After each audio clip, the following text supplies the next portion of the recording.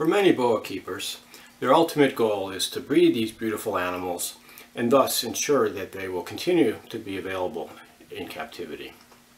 Today I want to give you a very high-level overview of the general procedures I use in breeding boa constrictors. I'm Brian from Brian Boas. I'm a breeder of boa constrictors.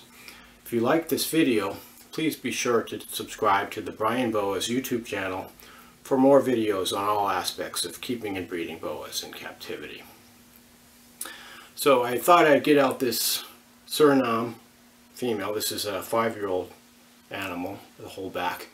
I'm not going to be talking about Surinames, but I figured it'd give you guys something nice to look at while I'm talking.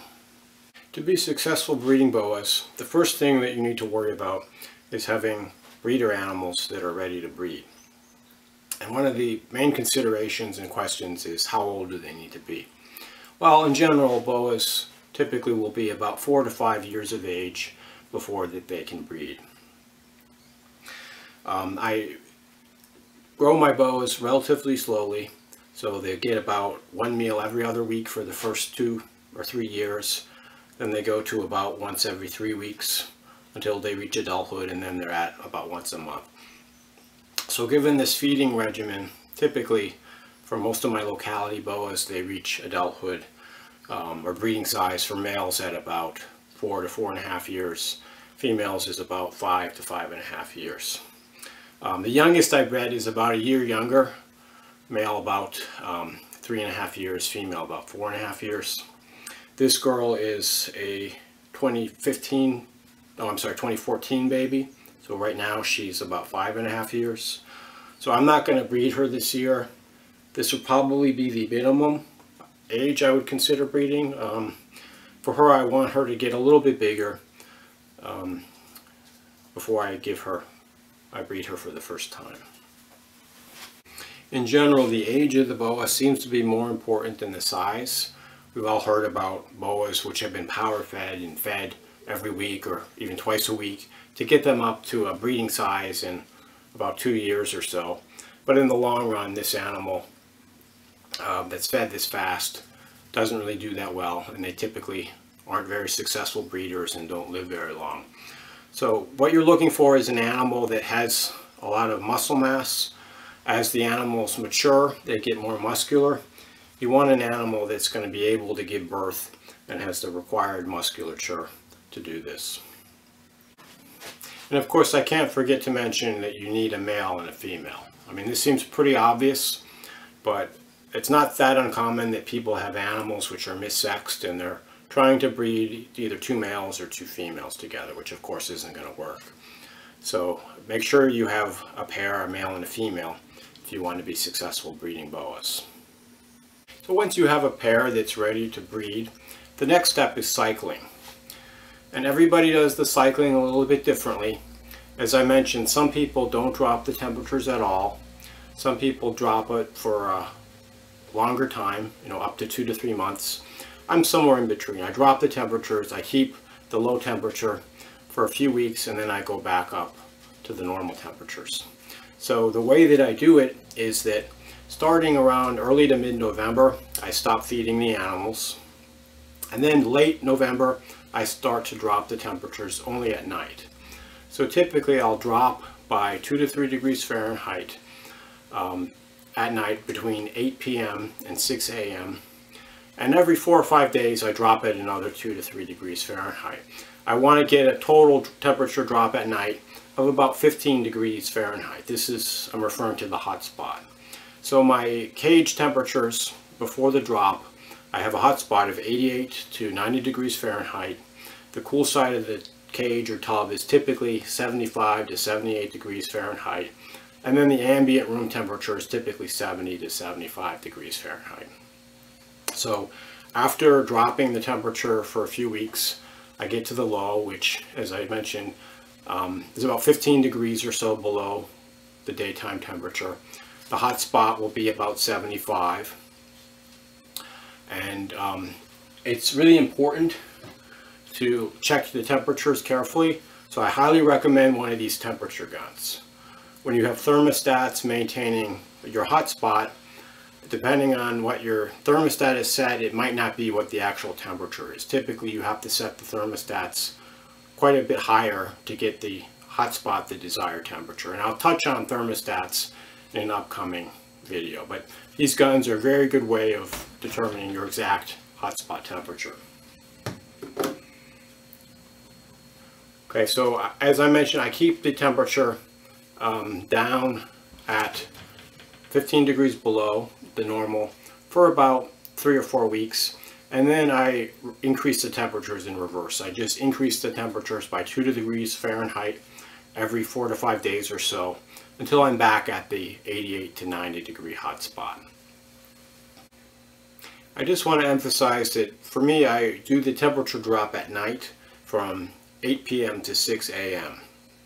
During the day the hot spot is at 88 to 90 degrees, the same as normal. And some people will do no temperature drop at all. Some people will do the temperature drop 24 hours a day. But I found that the nighttime temperature drop works the best for me. So once I reach the low temperature of about 15 degrees below normal, I'll start to pair animals up. And this is usually in late December or early January. Typically, I'll bring the female to the male's cage, so the male is used to that environment and hopefully will start to court the female. Um, my approach at that point is pretty hands-off. So you can do a lot to get your animals healthy and to get them ready for breeding and to pick compatible animals. But once you put them together, it's really up to them. You can't really make them mate. They have to be interested in each other. Sometimes I see very quick activity. The male is instantly interested in the female and starts to court her and try to mate with her. Other times the male doesn't really show any interest. But typically I just leave them together. I let them do their thing. Um, typically I, I don't check on them more than once a day or so just so that they can have some privacy and we can let nature do its course. Once I pair up the animals, I usually leave them together for about four weeks. I'll let them do their thing and at the end of this time period I'll separate them and give them a small meal. This is about one to two sizes below they normally get in terms of the rodent size. After a week post-feeding, I'll put them together again. I'll keep them together for another three to four weeks and then feed them again, wait a week, etc. And I'll repeat this for several months going into the spring until the animals appear to be gravid. So how do I know if a female is gravid? Well, typically the females will be coiled in a tight coil above the hot spot. They're trying to conserve heat for their developing offspring. Often they'll change to a darker color and typically the male will no longer show any interest in mating with the female at this point. And typically I'll see the animals become gravid anywhere from about April through about June. My BCI localities like the Tarahumaras and the Hog Islands are typically gravid at an earlier time than the BCCs. BCCs often I don't see them gravid until June or even early July. So I'll look for a shed, which is known as the post-ovulation shed. And it's really important that you make careful notes of the exact date that your female sheds. Typically, the baby boas are born anywhere from about, about 100 to about 120 days after this shed. Uh, typically for BCI localities, the dwarf boas is closer to about 100 days. For the BCC localities, the females will give birth about 120 days after the post-ovulation shed. And this can vary by several weeks in each, either direction, so you don't get overly concerned if your female hasn't given birth at the time, but it gives you a pretty good idea of when to expect the babies. So I thought I'd change up the snakes, so this is a 2015 holdback Peruvian female, and I imagine she'll be ready to breed in about another year or two. The last thing I wanted to mention about the post-ovulation sheds is that sometimes an animal will have a second shed halfway through the gestation. And this can make it sometimes confusing as to which one was the post-ovulation shed. I've had females that I thought had the post-ovulation shed and I based my due date off of that first shed. But then it comes and goes and weeks later I conclude that the actual post-ovulation shed was that second shed. Sometimes, however, the second shed is not the post-ovulation shed, so it just varies. Probably around maybe 5 or 10% of the females will have the second shed that's not the post-ovulation shed. In addition, a small percentage, probably about 5% or so, will not have a shed at all. And so in this case, you don't really know exactly when to expect the female to give birth. You just have to pay close attention um, if she's going to go into labor. One point I want to mention is that when the females are gravid, I increase the temperature slightly. The hot spot is typically about 92 to 94 degrees. And that's why it's really important to have this heat gun so you can tell exactly what the temperature is, not what your thermostat is reading. And I'll also, I'll temperature gun the female. I want the female typically to be about 88 to 90 degrees. So she's a nice warm temperature to make sure those babies cooking inside are going to do really well. So as your female's due date gets closer, there's a few things you should keep an eye out for that will let you know that your female is about to give birth. So the first is called the waxy stool. And this happens about a week to several days before the female gives birth. Basically, it's a defecation that looks kind of plasticky looking. Um, the female's basically clearing herself out prior to the babies coming out. I don't off, I don't always see this waxy stool. Often I'll only see it after the female's given birth because it's buried in the litter. But if you see this, this is something that tells you your female's about ready to give birth. And then the other thing to look for is that about a day or two prior to giving birth, the females become much more active. You'll see your female cruising around the cage, pushing through the litter, basically looking for a site for the babies to be born in. And when you see this, you know your female is about ready to give birth. I usually don't see the females give birth. Often it happens at night or early in the morning. But sometimes it happens in the middle of the day and I can actually watch the process. And this process typically takes about an hour to about you know five or six hours depending on how many babies the female has and whether or not there are these slugs or unfertilized embryos which take longer to pass. So once I'm sure the female has finished uh, giving birth, I remove her.